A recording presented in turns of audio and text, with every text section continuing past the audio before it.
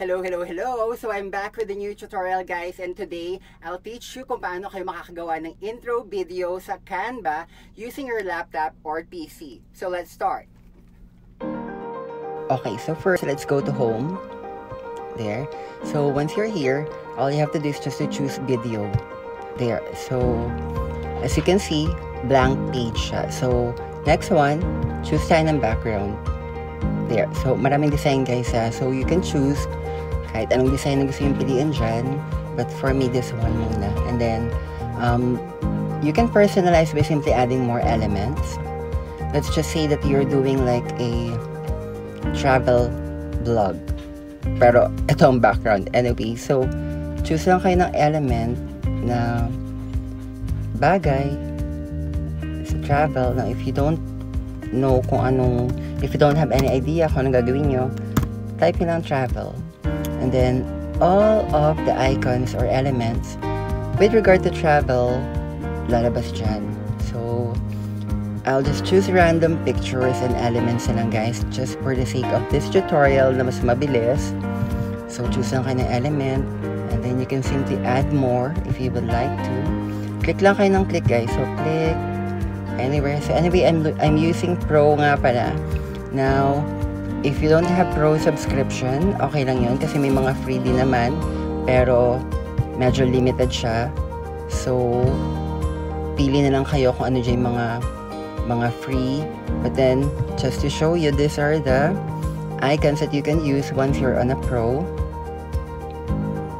So, now, in order for you to resize, click nyo lang lagi yung mga white dots sa gilid. Pwede nyo siyang paglaruan guys. So you can put it anywhere. And then later on, I'll show you on how we can do the animation naman. So, there. Now, I'd like to add more, of course, picture. Since we're doing intro video.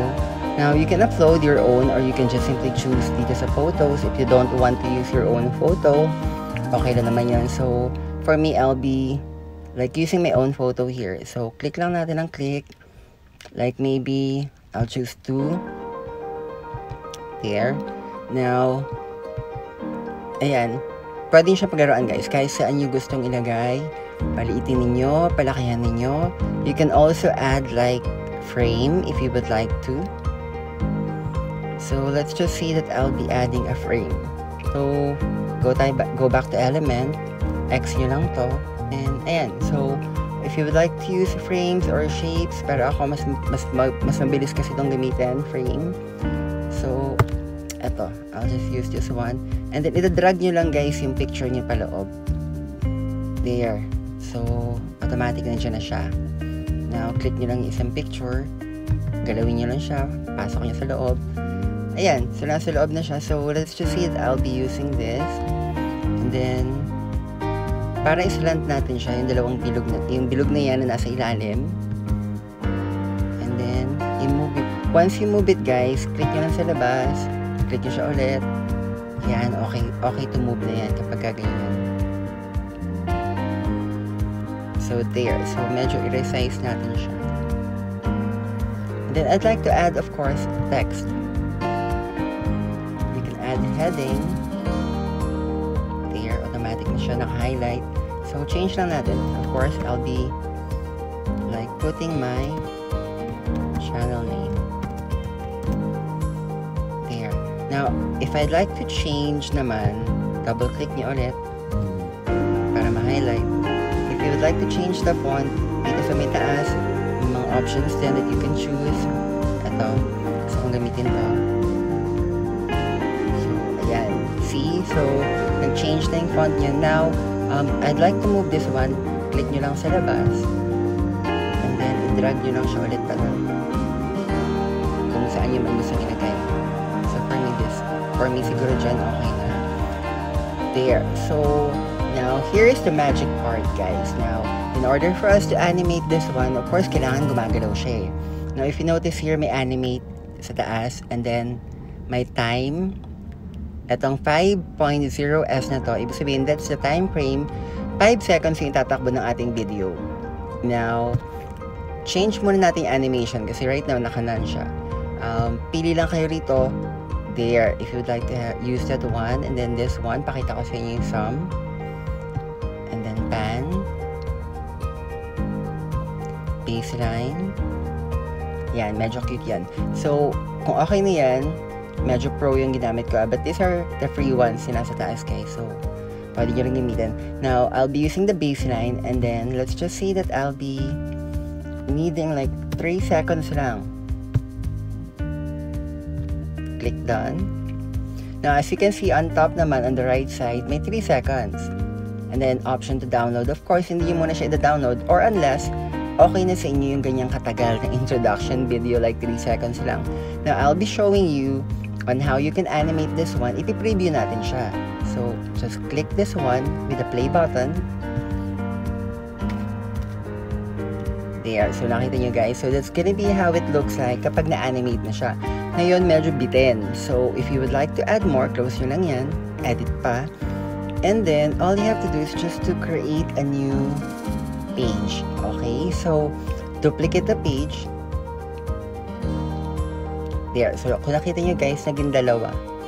So, And also here, if you look at here, page 2 na yung tinitingnan natin. So, don't be confused ha, kasi baka akala nyo yung, yung first page pa rin yan. So, now, in order for you to do another animation, gaya nung earlier video ko sa introduction ko, um, change, change nyo lang siya. You can either choose to um, add more picture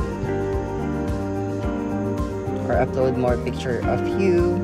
Let's just see, I'll be using another one. Tanggalin na natin to. And then, resize lang natin siya. And then, put it somewhere, maybe. And then, ito, interchange na lang if you do, if you would like to change naman the design and the anime there. So, let's just see na ganyan ang itsura niya. Dun sa second page. You would only like to use one picture. Okay. Check lang natin. Here. So, let's create the third page na rin para at least when we animate later or when we preview, at least makikita nyo ng medyo bongga na yung kalalabasan niya. And then, I'd like to add another picture maybe. So, I'll be doing the finale. Kumbaga, this will be the final look. Final look. This will be the final look of your intro video. Of course, you would like to add more like the subscribe button, the like button, and share. It's up to you guys. You can do whatever design you would like to have. I think I'll be another, adding another picture here.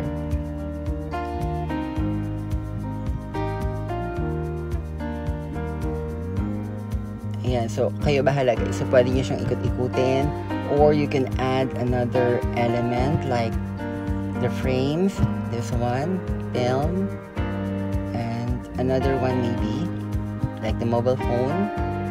And lastly, the tab.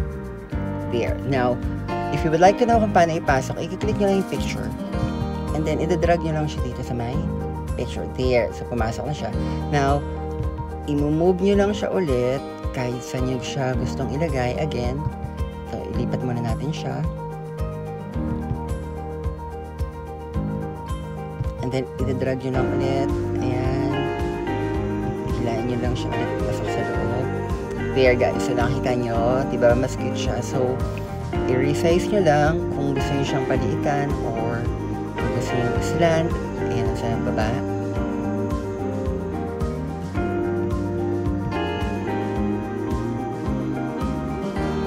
Ayan guys, so marami kayong pwedeng gawin. It's up to you kung anong design, anong background.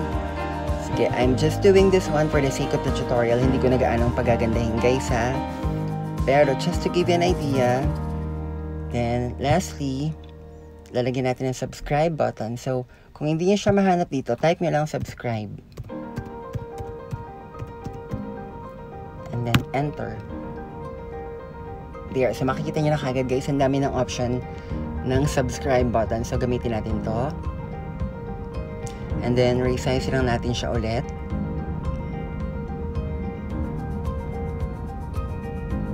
Ayan, siguro ganyan. And then, itabi natin siya sa ating YouTube channel. Lipat ko lang ng design, I mean ng pwesto at medyo pareho siya ng kanina. Ayan, siguro okay na ako sa ganito. So, right now, tatlo, since tatlo na yung page natin, gaya nga na tinuro ko sa inyo kanina, meron tayong animation. Now, in order for you to change each animation naman ang gusto ninyo, click nyo lang kung anong page ang gusto nyo i-change. Like for the first one, baseline. Second one, change natin yung animation niya. Click nyo lang ulit yung baseline and then choose another one.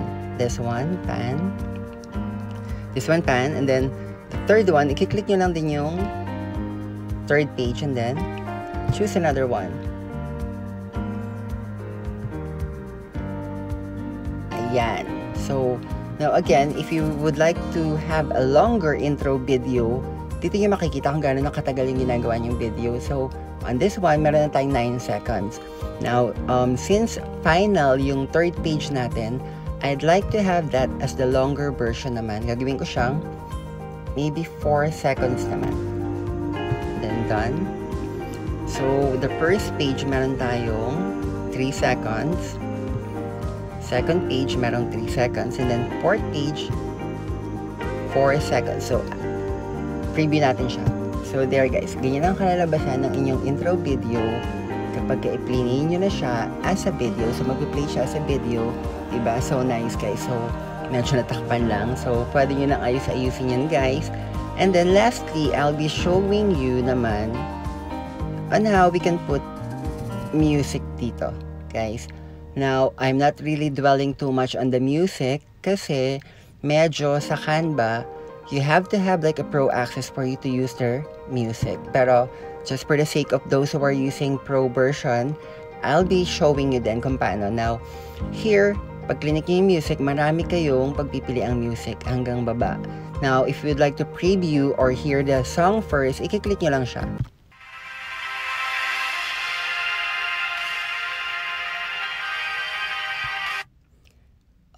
You can choose another one.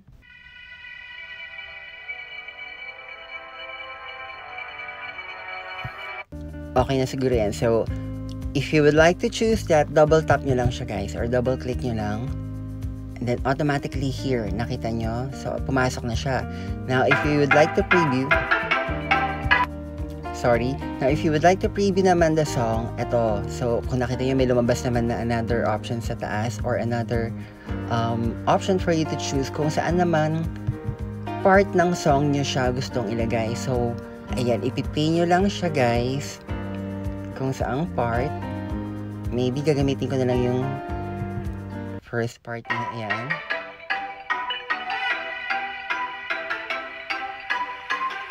Okay, so, um, if you notice guys, ito, ito lang yung certain time frame na pinili niya for the song. Kasi, meron lang kayong 10 seconds. Now, automatically, naka-add na yan dyan. Now, once we preview this one, kasama na yung music. Okay, so let's preview guys.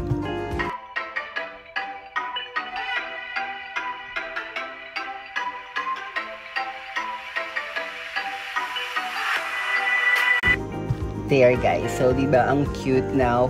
Um, again, hindi ko na inayos yung pagkaka-design dito, pero you can do whatever design you would like to have and you can choose whatever songs if you would like to, pero you have to upgrade to Pro.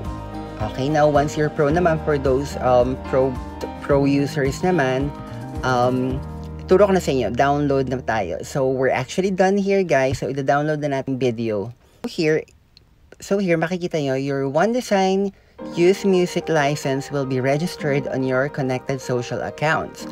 Connect more accounts. Now, ano ibig sabihin yan guys? So, it only means guys that we cannot really publish this particular video na ginawa natin with the song attachment kasi may copyright siya.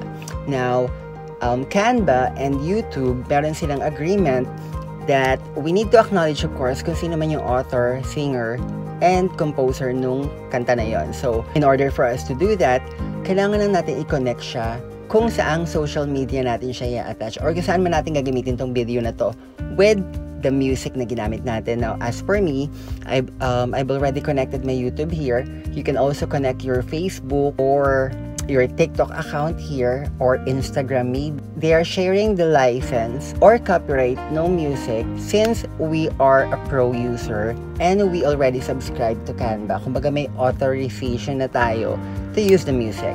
Now, here's what you're gonna do. Click nyo lang to, connect more accounts. Now, as you can see there, meron ng akong account na na-attach which is yung YouTube ko nga. Since nagamit ko na to when I did uh, first publish my intro video nga. So, all you have to do once you're done with that, ita-download nyo na siya. So, there. We're actually done with here, guys. So, um, I'll just gonna be showing you that it's really the being downloaded. Skip ko na tong part na to. Medyo ikakat ko na to kasi medyo matagal. There. So, you saved your design successfully. Now, I'll move on to the next tutorial which is, this is actually a better way for you to create your own intro video, especially for, for the new YouTubers like me. So, all you have to do guys is to go back to homepage. Since we're done, na-save na natin yung first one. So, just go back and then, you can simply choose naman templates here guys. So, all you have to do is just to type in na lang YouTube here and then go directly to videos. So, YouTube videos, there. So makikita nyo kagad, all you have to do is just to click that there. So you'll be able to see naman the templates preloaded for you to be able to use and personalize na rin at the same time. Now, kung medyo nahihirapan kayo, this one, maybe gamitin natin to. As you can see, moving siya. So, video yung ginamit ng author dito. But you can actually use this one. Here, use template. So, whatever design guys ha, yung mga lumabas kanina, you can choose either one of those. So, a day in my life. So, perfect example to guys. So, maybe this one, all you have to do is just to click the picture na lang there. It's actually a video. You can also put your own video. Pero, of course, we're not gonna be using that. Pero, just to show you guys, i-delete ko lang to. And then, I'll be adding my own picture, just showing you how to personalize this one, upload. So I'll just be uploading just one picture na lang guys ha, and then I'm not gonna be changing the other pictures, but you can actually choose the other pictures here din guys. If you would like to fully personalize this so i-crop lang natin siya. So I'll just do this quickly para lang just for you to have an idea kung gusto nyo namang gamitin is yung mga preloaded templates na para hindi na kayo mahirapan gumawa pa ng design. So let's just see. Ayan na napalitan ko na siya. As you can see here meron na siya kagad animation and then 5 seconds. Now preview natin siya. And meron na rin siyang song So, kung gusto niyo pakinggan yung song niya, i-animate niyo lang siya or i-preview niyo lang siya by just clicking this. There. So, as you can see, 5 seconds lang yung tinagal niya.